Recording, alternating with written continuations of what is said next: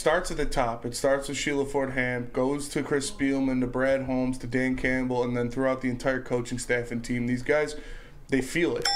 They know they're doing it right. They know they're doing it the right way. They're playing the right way, and it's just an awesome thing to see from when player one to player sixty i- is is bought in. And- And, and- the, whole 32 man roster plus the practice squad, all of these guys are bought in on Detroit Lions. Neal, football. here's the thing. There's non-negotiables now. There always was with the Red Wing culture when I played there, like and especially when Scotty, you know, came in and, and that's what you're seeing Stevie try to implement. The non-negotiables about walking in that locker room, the expectations. Here with the Lions, they never had that.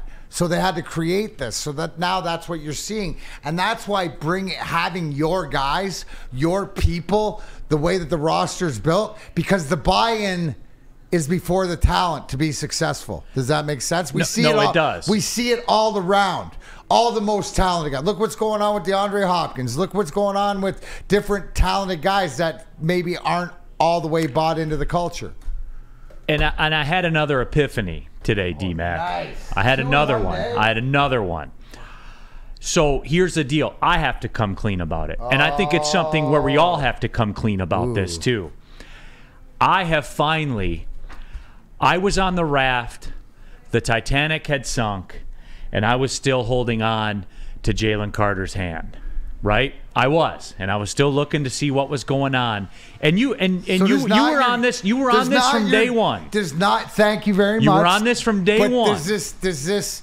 Can you explain to the people why the Jalen Carter to this Detroit team, with what we're talking about now, it doesn't make sense. It doesn't make sense to me at all anymore, and it's and it happened and it happened quickly. And you were on this, and you tried to show me the way. I try to show the way to a lot of people. They don't always listen. I tried to show everybody. You the showed way. everybody the way here, I'll show you Dewey. A- and and we all need to do this to some because there's somebody out there. There's some draft pick that the Lions had that we have to that we have to do this with.